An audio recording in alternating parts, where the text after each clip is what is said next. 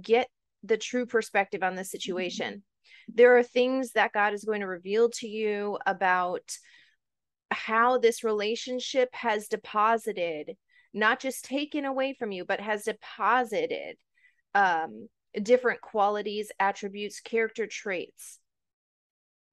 I want you to think about this for your own relationship for just a moment, your own situation that you're dealing with. Because when you can actually understand that more has been happening than what you have originally been seeing, it's easy to see the frustration, the uh, annoying things, the um, toxic things um, but allow God to show you how these how these same situations where you see frustration, where you have felt hurt, extreme betrayal, whatever it is that you are most um, sensing whenever you think about your relationship with a narcissist, you have to ask God, is that the only perspective? Or is there something that you didn't see that he gave to you? in that space this is again things that are covered in the session 8 because when and and session 8 is called when you're digging for gold you're going to get dirty meaning that it's impossible to look for the things that are positive about the situation the things that are redemptive about your situation the things that are um healing that are life-giving that are um treasures about your situation without without first sorting through those feelings of you know bitterness those feelings of anger those feelings of um of again abandonment or betrayal. So it's it is important that you understand these two things go together. They go hand in hand. Dirt and gold go together. You have to be willing to push through one to get to the other and work through one to get to the other.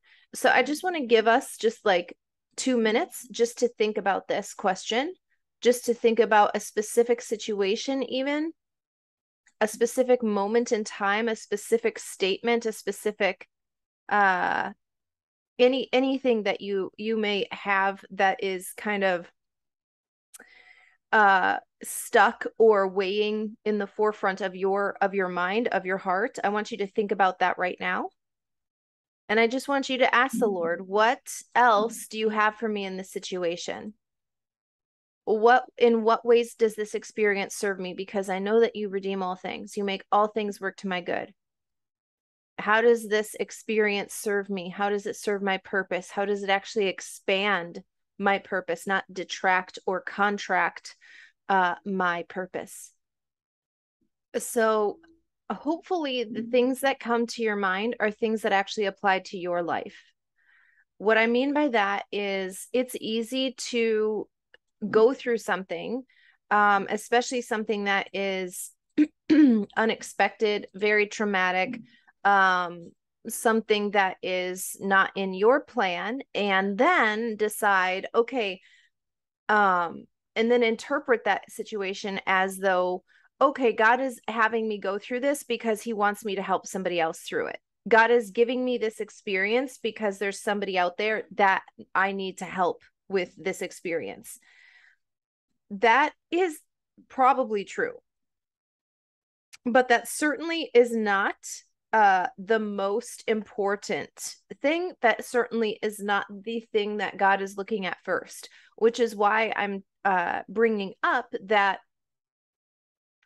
if you want the gold out of your life including how this would impact or affect other people you have to be willing to go through and sit with and sort out all of those difficult emotions. There's no such thing as you getting the uh the relationship of your dreams for example a romantic relationship of your dreams without working through the betrayal the abandonment the the feelings of bitterness whatever it may be for your current situation or uh, working out how to be a a good parent to the children that you have right now with the narcissist as you as you try to co-parent or parallel parent or counter parent uh, with with a, a new person if you can't first understand how you need to become a different parent to those children. Okay. So, in other words, lots of people want to skip a step in that, okay, my purpose is now going to be to help other people who have gone through this. That, again, may, that may very well be true, but not until you have learned how to apply all of these things to your own life and have actually gotten your own life sorted out. Because listen, energy transfer is real